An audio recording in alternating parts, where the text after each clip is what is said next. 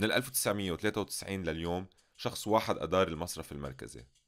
شخص صار بثلاث وجوه وثلاث سياسات نقدية وبقي يعبر عن نفس المصالح لنفس الطبقة ويتخبى ورا شعارات المصلحة العامة والاستقرار الاجتماعي.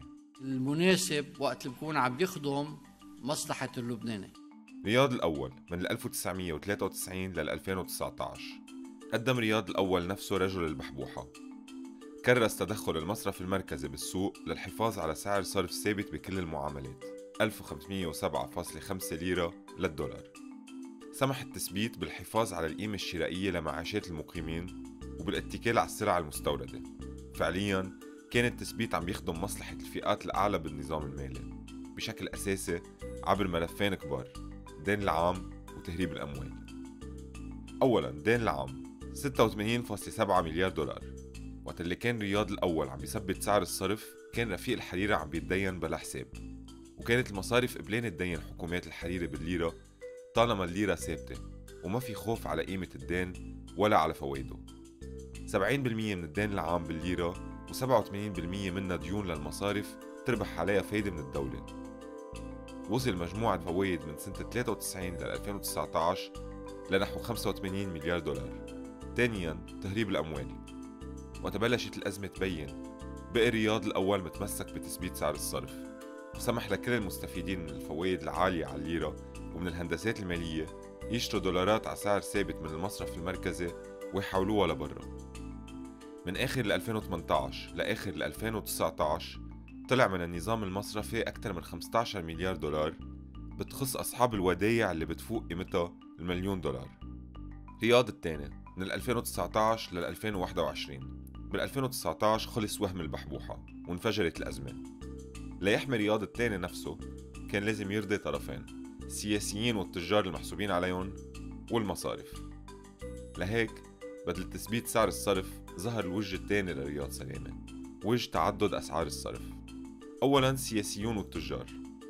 كانت السلع الأساسية عم تستورد بالسعر الرسمي على 1005 بعدين بأسعار ارتفعت تدريجيا بحسب القطاعات تمهيدا لربطها بسعر السوق. سمى رياض الثاني هيدا النموذج الدعم. بس عمليا هالنموذج كان عم يدعم الاستيراد بأموال الناس نفسها وكان عم بيسمح على الطريق إنه المحتكرين والمستوردين يحققوا أرباح خيالية. وبما إنه حزب المحتكرين والمستوردين مقرب ومرتبط بالسياسيين اعتبر رياض الثاني إنه هالنموذج هو خدمة منه للطبقة الحاكمة تيحمي راسه على حساب المال العام. ثانيا المصارف. ردد رياض الثاني مقولة المصارف. الودايع بخير. أنا مرتاح أنتو قليل بس اخترع سعر صرف جديد. بيسمح للي عنده دولار كاش بالمصرف يسحب منهم بسعر كتير أقل من سعر السوق. وسمى هالشي هيركت طوعي أو هيركت بيقرر المودع يعمله على نفسه ليتحمل هو كلفة الخسارة ويخلص البنك من عبء الودايع بالدولار. آه، بس على على الليرة اللبنانية عم يقبض أقل من ما لازم يقبض. مزبوط ولكن خياره. يعني هو عم بيقرر.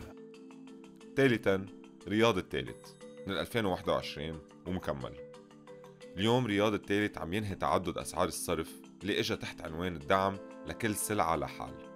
وصارت معظم السلع تستورد وفق سعر صرف المنصة اللي هو أدنى بشي بسيط من سعر الصرف السوق الموازية.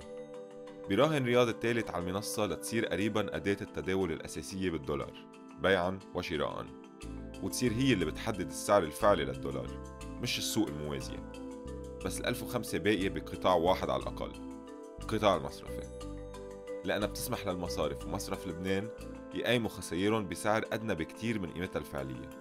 لهلأ كل الودايع بالدولار اللي تبخرت عم تنحسب بميزانيات المصارف على 1005 المنصة للجميع وال 1005 للمصارف.